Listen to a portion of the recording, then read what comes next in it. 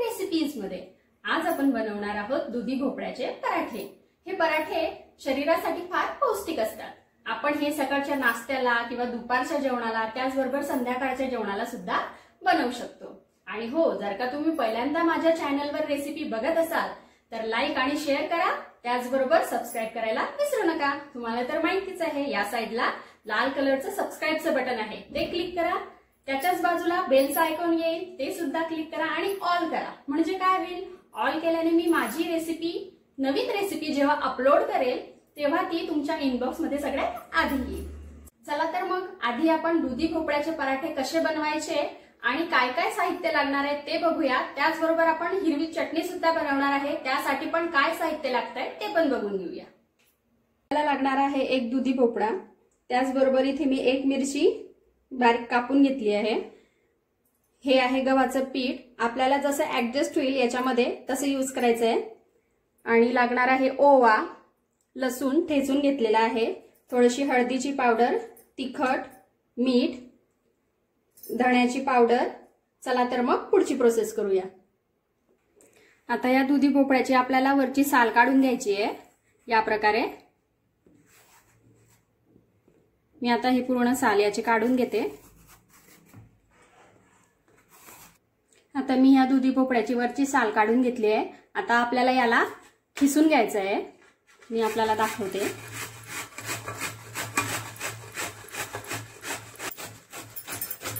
बघा अशा प्रकारे हे आपला आपल्याला सगळा जो दुधी भोपळा आहे तो किसून घ्यायचा आहे. आता हे सगळं मी किसून घेतलेलं आहे. यातलं पाणी वगैरे अजिबात मी काढलेलं नाहीये. ऍज इट इज सगळं राहू दिलंय. आता यात आपल्याला ही जी मिरची कापून घेतलेली होती एक ती टाकून द्यायची आहे. लसूण घेतलेला होता ठेचलेला. तो टाकून घ्यायचा आहे ओवा घेतलेला आहे. तो टाकला. त्याचबरोबर आपल्याला टाकायची थोडीशी हळद. चवीनुसार तिखट जसं आपण खात असाल तसे. थोडं कमीच वापरायचं आहे कारण याच्यासोबत आपण चटणी खाणार आहोत. मीठ. थोडीशी धण्याची पावडर. आणि हे सगळं आपल्याला मिक्स करून घ्यायचं आहे आणि यातलं मी पाणी का बाहेर काढलेलं नाहीये कारण पाण्यातच याचं जे सगळं सत्व आहे ते पाण्यातच असतं. त्याच्यामुळे पाणी वगैरे असं बाहेर काढून ठेवायची काही गरज नाहीये. आणि याला आपल्याला वरतून पाणी लागणार नाहीये भिजवण्यासाठी. आपण जेव्हा याच्यात पीठ टाकणार आहे तेव्हा अजिबात पाण्याचा वापर करणार नाहीये. आता हे छान असं मिक्स झालेलं आहे. यात आपल्याला थोडं थोडं करत पीठ टाकायचं आहे हे बघा मी आधी एक वाटी आपल्याला पीठ दाखवलं होतं ते टाकून देते. यालाही आपल्याला छान असं एकजीव करून घ्यायचं आहे याला भरपूर पाणी सुटतं म्हणून पाणी अजिबात टाकायचं नाहीये. आणि याला छान असं मळायचं आहे आता अजून सुद्धा हे ओलच आहे. यात मी अजून थोडंसं पीठ घालते. आणि यालाही छान मिक्स करून घेते. बघा आता मी हे छान असं घट्टसर मोडून घेतलंय. आता यावर आपल्याला थोडंसं तेल टाकून घ्यायचं आहे म्हणजे तो याचा जो पाणी जे सुटतं याला ते सुटणार नाही. आणि छान असं मऊ आपल्या पोळ्या तयार होतील. म्हणजेच पराठे तयार होतील. चला तर मग आता आपण पराठे बनवायला घेऊया. आता आपल्याला ह्या कणकेचा छान असा गोळा तयार करून घ्यायचा आहे.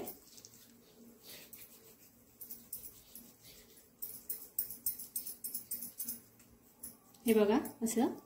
आणि याला आपल्याला पीठ लावून लाटून घ्यायचं आहे आता मी या गोळ्याला छान असं पीठ लावून घेतलेलं आहे.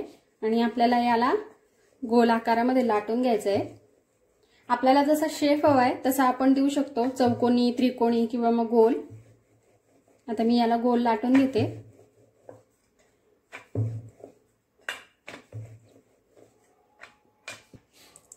आता हा जो पराठा आहे हा आपल्याला जास्त पातळ पण नाही ठेवायचा आहे जास्त जाड पण नाही ठेवायचा आहे असाच आपल्याला ठेवायचा आहे आता आपण ताव्यावर हा पराठा टाकून देऊया. इथे मी तावा गरम करायला आधीच ठेवलेला होता. यावर आपण आपल्याला हा पराठा टाकून द्यायचा आहे आणि खालच्या साईडनं जोपर्यंत तो सुटत नाही तोपर्यंत त्याला पलटायचा नाहीये. आता खालच्या साईडने थोडा झालेला आहे. आपण याला पलटून घेऊया.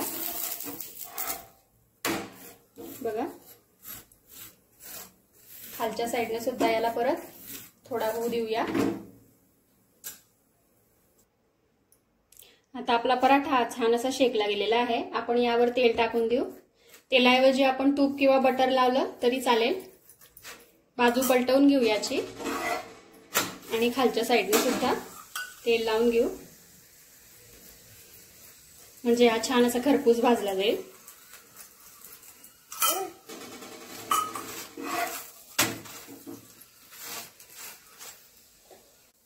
आता आपला हा पराठा रेडी आहे. आपण याला बाहेर काढून घेऊया आणि दुसरा टाकूया. आपण दुसरा पराठा सुद्धा लाटून घेऊया. याला मी पीठ लावून घेतलंय. आता आपण लाटून घेऊ. आता हा पराठा आपला लाटून झालेला आहे.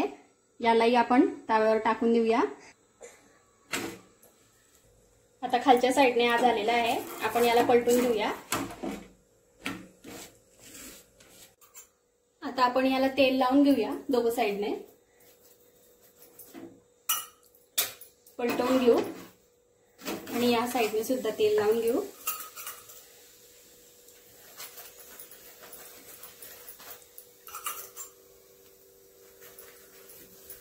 असेच आपल्याला सगळे पराठे तयार करून घ्यायचे.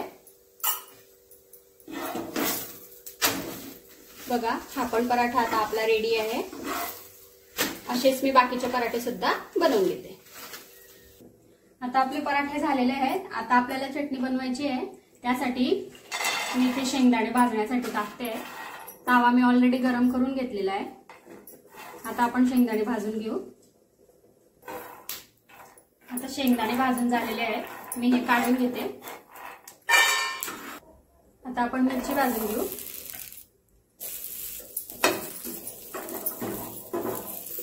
आता आपली मिरची पण भाजून झाली आहे. तिलाही मी काढून घेते.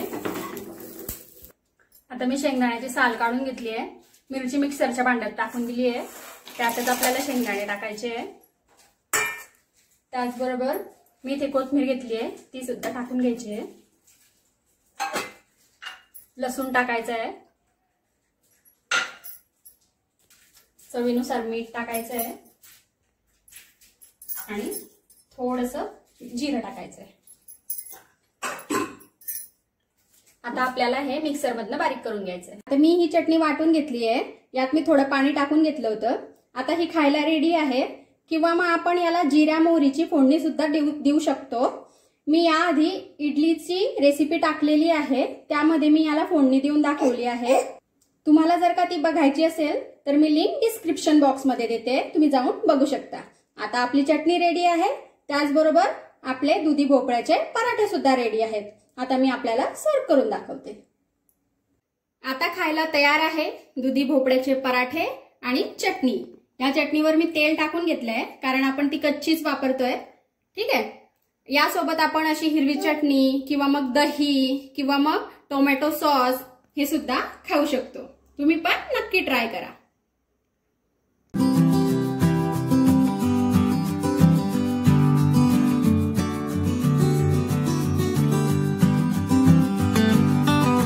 मग कसे वाटले दुधी भोपळ्याचे पराठे? छान ना? मग तुम्ही पण ट्राय करा आणि मला कमेंट करून कळवा कसे झालेत ते. आणि अशाच छान छान रेसिपी तुम्हाला जर का माझ्या बघायच्या असतील तर लिंक डिस्क्रिप्शन बॉक्समध्ये आहे. चला तर मग भेटूया अशाच छानशा रेसिपी सोबत माझ्या रेसिपीच्या नेक्स्ट व्हिडिओमध्ये तोपर्यंत आपली आणि आपल्या प्रियजनांची काळजी घ्या. Take care bye bye